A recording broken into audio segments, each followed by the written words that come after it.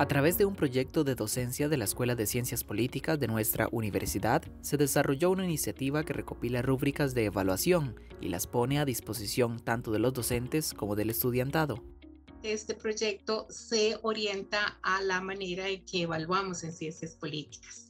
Entonces es muy importante porque eh, todo el espíritu del proyecto tiene que ver con esa posibilidad de eh, construir, fomentar y fortalecer una cultura de la transparencia en el proceso de evaluación entre profesores y estudiantes.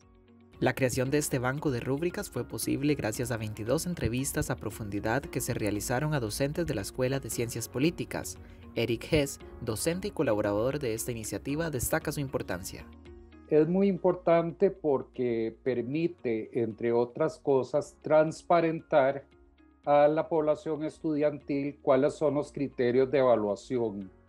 De acuerdo con los objetivos específicos propuestos de los programas de los cursos, de ahí es de donde salen estas actividades evaluativas y respecto de las competencias, de las capacidades, de las destrezas, de las habilidades que queremos que nuestra población estudiantil adquiera cuando lleve nuestros cursos con base en, esas mismos, en esos mismos criterios, entonces se plantean distintas actividades de evaluación.